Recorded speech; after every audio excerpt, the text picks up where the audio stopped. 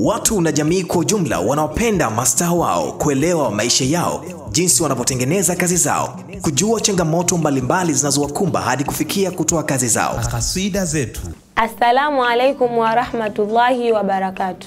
Naam, karibu mpenzi mtazamaji katika kipindi chetu cha kasida zetu. Kasida zetu leo tumetembelewa na mgeni wetu katika studio yetu Tifu TV. Uko nami mtangazaji wako Naifat Suleiman sambamba na mpiga picha wangu Ishaka Juma.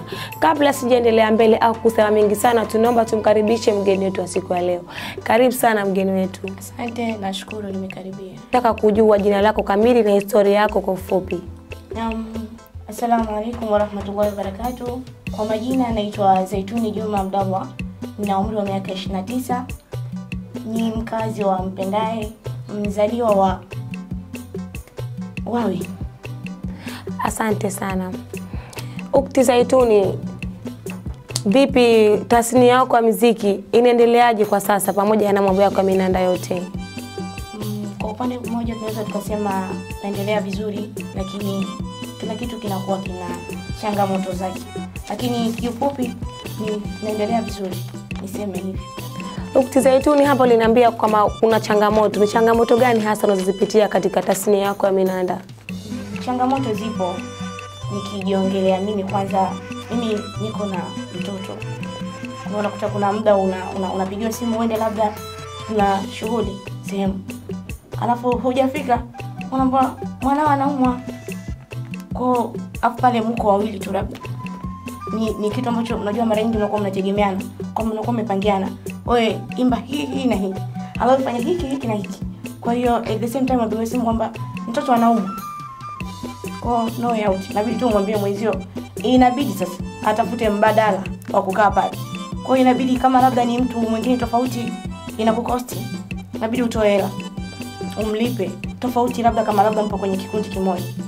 Kwa hiyo changamoto ziko nyingi. Sasa utakuta kwa ma producer unamwambia bwana siku fulani niko na shughuli labda unataka biti ama labda kuna kasida unakuwa unaitegemea. Alafu ule muda unafika biti hujatumiwa. Unapiga simu hayapatikani Kwa changamoto zipo nyingi. Asante sana. Ukti Zaituni, hapa tumeongea, lakini kuna jambo moja limenigusa. Unasema una mtoto, vipi, ushaolewa? yes nimeolewa na mtoto mmoja. Asante sana. Na mpenzi mtazamaji, kama ndo kwanza unafungua TV yako, kipindi hewani ni kasida zetu. Nadhani mmeyasikia maneno kutoka kwa Ukti Zaituni, mambo mengi sana kumuhusu pamoja na changamoto anazozipitia katika tasnia yake ya minanda. Tukiendelea mbele na Ukti Zaituni, Ukti Zaituni, vipi na mashairi yako ambayo unayaimba, unatunga mwenyewe au kuna mtu ambaye anakutungia? kwa mpaka sasa mashairi yote niliyoimba ni yametungwa yaani mtu tu anakupigia simu kwamba labda kuna kazi nataka tuje tumalize hivyo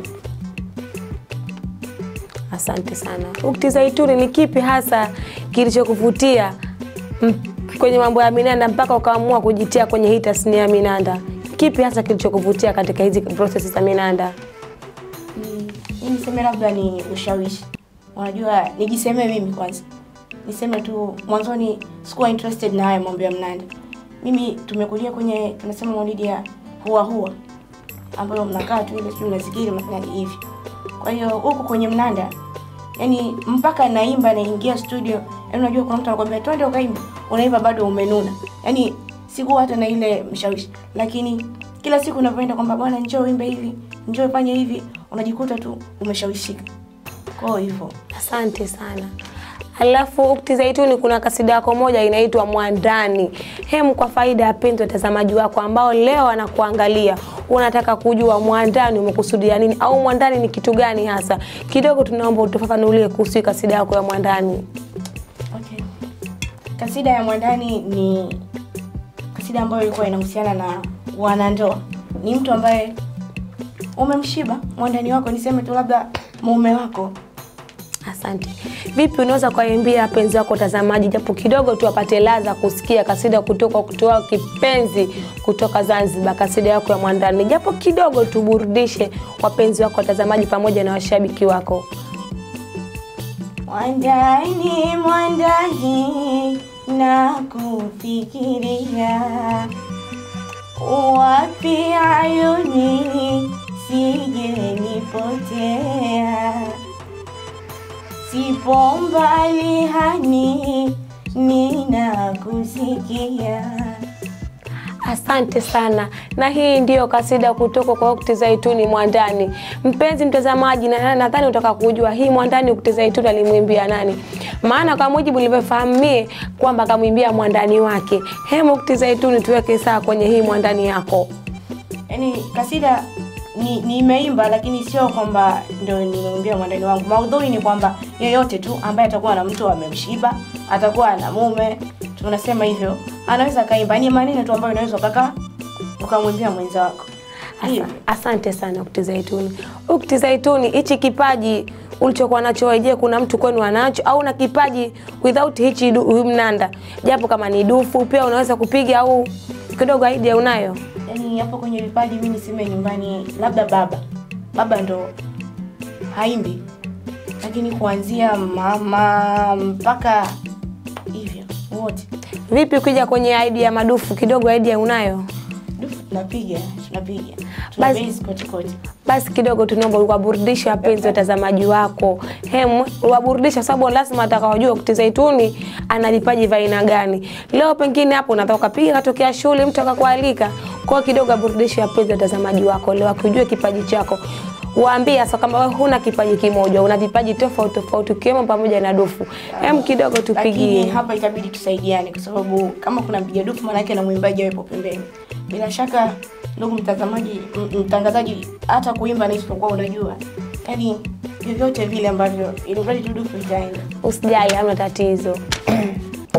Hapa kwenu halali kwa haki mkioana, tulivu ndio siri ndoani munatakiwa. Asante sana, asante sana mpenzi mtazamaji, nadhani nimeona kipaji cha Ukti Zaituni pamoja nami mtangazaji wako. Kipaji kidogo nacho, siko nyuma katika mambo haya. Asante sana. Ukti Zaituni, tunataka tena tu tutoe nafasi, yaani imetokea nafasi kwamba ufanye kolabo na msanii yeyote yule. Unataka msanii gani ufanye naye collab ya kasida? Oh, ukiniambia yoyote nichague nitakuwa nafanya ubaguzi. Mi niseme tu yoyote ambaye labda atakuwa interested tafanya naye kazi. Maana ukisema ni, ni, ni mtaji ambaye nampenda sana. Maana kuna mwingine atakuwa ananipenda mimi alafu atashindwa ku- ku- kunitafuta kwa sababu tu mimi nampenda mtu mwingine. Kwa hiyo niseme tu kwamba yeyote. Asante sana Ukti Zaituni. Alafu mimi nataka kujua producer wako anakufanyia kazi zako ni producer gani? Je, kwa mara ya kwanza kabisa na naanza tasnia hizi za, za, za, za kasida za mnanda nilianza na Fadhali, ndio sehemu ambayo nimerekodi kwa mara ya kwanza na nimerekodi naye kasida kama tatu, alafu kuna studio iko Kinuni tuwefu kuna studio nyingine tofauti. Kwa hiyo Kizaituni, Zaituni, wewe huna studio ambayo permanent kama hii ni studio yangu mwanzo hadi mwisho, yaani wewe ni studio yote ambayo unafanya Mwanzoni kabisa tulikuwa tuko pale kwa kwa Fadhali, ambao ugumu ulikuja kwamba mimi mwanzoni sikuwa mkaaji hapa, niliolewa Dar es Salaam. Kwa hiyo unakuta kazi nyingi zinakuja, alafu mimi nakuwa sipo. Changamoto ndio ilikuwa iko hapo, kwa hiyo ikawa kidogo kuna shida hapo. Asante sana mpenzi mtazamaji, nadhani mmeasikia maneno mengi sana kutoka kwa Ukti Zaituni. Ametoa changamoto, pia ametuburudisha kwa dufu, kwa mnanda, katika tubia kata zake na mnanda na vitu mbalimbali. Sasa nitampa nafasi Ukti Zaituni kwa washauri vijana wenzako ambao wanataka kufika kama alipo yeye. Unawashauri nini Ukti Zaituni vijana wenzako ambao wanataka kufika hapo ulipo wewe? Unawashauri kitu gani hasa? Unajua kila kitu ambacho unataka ukifikia, maanake kwanza wewe mwenyewe uwe tayari, uwe na uthubutu. Unajua tulio wengi tunataka kufanya kitu alafu tajikuta wale ambao sasa hawajafanya ni wako vizuri kuliko hata ambao sisi ambao tunafanya. Kwa labda tu ana hofu, alafu labda niongelee kwa sisi wanawake, tuna kawaida ya ule tunasema umimi au sijui niseme ubinafsi, kwamba tuchukulie mimi hapa na rafiki yangu labda anaimba vizuri kunizidi, lakini kumsogeza tu kwenye zile fursa ambazo zitamsogeza mbele. Yaani unahisi kwamba huyu anaimba vizuri, alafu mimi nikimuita pale labda ndo atakuja, yani atapendwa zaidi kuliko mimi. Wanawake tuna hicho kijitabia, Yaani nijizungumzie mimi niko nimezungukwa na waimbaji wengi sana. Lakini aliyenishawishi awezi amini ni, ni, ni mwanamme alafu ambaye sikuwa namjua hata. Yaani kama nitakwambia imekuwaje maanake mwenyewe utakuja tu unashangaa. Yaani unajua kuwa umezoea kuimbaimba. Yaani iko- iko hivyo nilikuwa tu jikoni na jimbia zangu. Walikuwa kuna nyumba nyumbani walikuwa wanajenga. Yaani amenisikia tu kwamba labda alikuwa anapiga mkelele, akaniambia bwana mbona unaimba tu vizuri? Naomba labda kuna project ufanye hivi. Yaani mimi sasa nikawa najihisi shida. Nikamwambia bwana mimi sitaki. Nikamwambia mpigie simu mume wangu. Yaani ili mradi tu ile kukataa. Kwa unajikuta kwamba wewe mwenyewe unakataa fursa. Lakini kwamba yeye mwenyewe alikuwa ana ile nia. Basi ndo ikawa mwanzo ndo huo. Nashukuru. Mpaka hapa nilipofikia Asante sana mpenzi mtazamaji, nadhani nimesikia ushauri kutoka kwa Ukti Zaituni. Kwa wale vijana ambao wanataka kufika kama alipo, inatakiwa jitihada, pia tusio na ubinafsi katika kusaidiana. Mpenzi watazamaji, asanteni sana.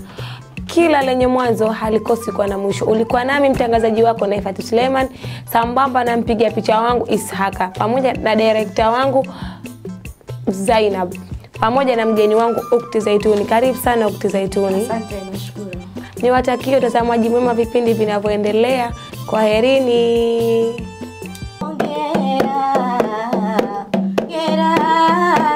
ongera, jikia ni basi. Hongera,